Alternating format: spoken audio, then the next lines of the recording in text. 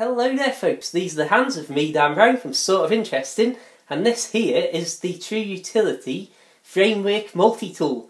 Now you may have seen my previous True Utility video of the Telepen, which is basically a telescopic pen, and so impressed was I with that that I checked out their website and discovered they've got an awful lot of things like this that are sort of multi-tool, space-saving, uh, multi-purpose little things. I mean, I've got a torch that also can store a bit of money in it, for example, which we'll see in a different video.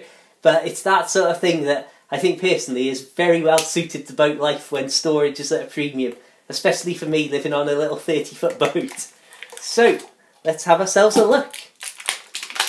Hopefully the lighting is okay for this video. Now let's pop it open. And my goodness me, is it just me or does it already look instantly a lot bigger now that we flip those open? And obviously there you can see instantly your first uh, function of this multi-tool, pair of pliers, and you've got wire cutters just at the back there.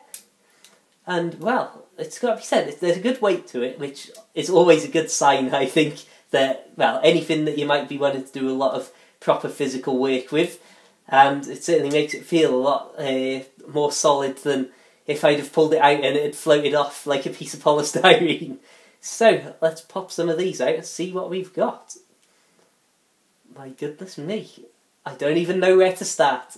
So, I suppose, go for our classic, we've got a knife there, then we've got this Phillips screwdriver, yep.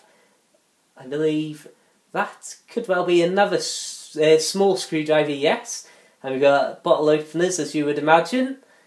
Then flipping around to the other handle, and you're obviously going to want to make sure that you put these well away before you grab this to do anything with the pliers. Let's have a look. What have we got here? Ooh, a serrated knife. So, oh my goodness me, that's practically a saw blade there. Right, I'll be careful with that. I believe that's a larger flathead screwdriver. Yes, slightly um, pointed there. And then pop open, what have we got?